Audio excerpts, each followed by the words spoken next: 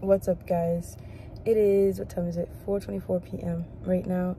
Um for my for my third vlog i want to show you guys what my nighttime looks like because i've filmed two vlogs so far but i haven't really shown you guys basically what i do once it's starting to get dark outside like right now. Uh, so it's 4:24 i just got home. I was hanging out with my friend and I'm about to go inside. I honestly have, I don't really have that many plans for my night. I'm gonna have a couple things that I want to do on my computer. So I'm just literally just gonna chill, maybe watch a movie, relax, drink some tea, something like that. Um, so I'm gonna take you guys with me. Let's go.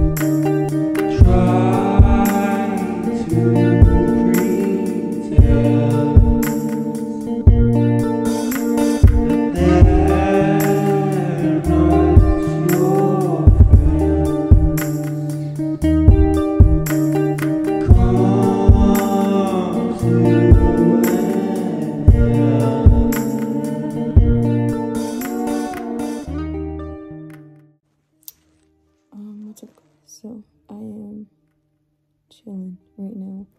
I'm about to do some work on my computer. Um, I can let you know what I'm about to do, actually, if you're interested. So I'm releasing a single on December 11th. That is next week, Saturday. And I decided I'm going to do like a, a listening party but a virtual listening party so that other people can attend as well on Zoom. So right now I'm about to just like create the event for that, um, finalize the flyer, and then start promoting it. So that's basically what I'm about to do. Um, as you can tell, I live a very simple life. Like I don't really go out that much. Um, I don't really.